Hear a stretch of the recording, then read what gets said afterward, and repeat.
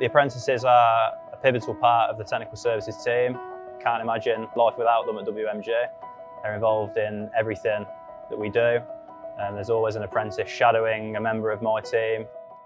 I think becoming an apprentice is a great route. I'm Em and I'm a third year apprentice at WMG. We have 3D simulator where we work on developing autonomous vehicles or intelligent vehicles. It's a Faraday cage which has 360 degrees projector screen and we can put vehicle in. We're doing a lot of testing, trying to make vehicles autonomous. Physics forms a big part of my role. We work a lot with electromagnetic waves and look at the effect it has on autonomous vehicles.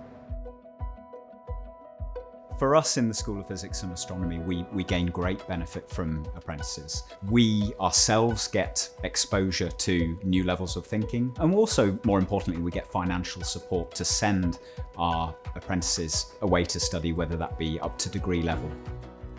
I decided to become an apprentice after my mother highlighted the opportunity to me, and it's the best thing I've ever done. Liquid helium is the lifeblood of low temperature physics and medical research, and without me, they wouldn't have the reliability of obtaining liquid helium whenever they needed it. My plans for the future would be eventually become senior cryogenics technician for this facility. I definitely recommend other businesses to take on apprentices. I think we've had an incredibly positive experience within the school of all of our apprentices.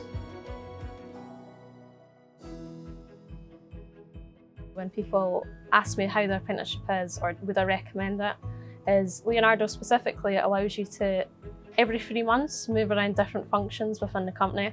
I obviously joined the company not really knowing what sort of area of engineering I wanted to specialise in, so this was so beneficial for me. An area that really inspired me was optics and being able to work with optics, doing optical bonding.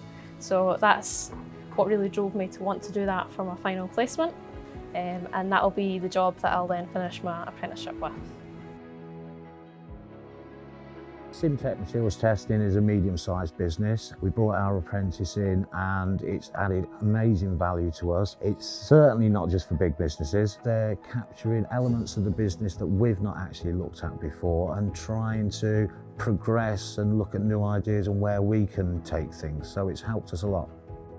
Technical skills are a vital part of what Simtech does. Having an apprentice with those skills helps me to assign the right person to the right job. I wanted to become an apprentice because I saw it as a good opportunity to gain hands-on work experience alongside fully qualified technicians. I'll go out on site, I'll take samples of construction materials, I'll come back into the laboratory and test those samples for things such as air voids. So I've, I've always loved science growing up, especially physics, and physics is heavily involved in my workplace. We have to separate the samples that we've taken out on site into different elements. At the end of my apprenticeship, I hope to save in Simtech continue learning and gaining more experience and work my way up within the company. I would definitely recommend employing an apprentice. He's brought enthusiasm to the business and for us it's really helped our business grow.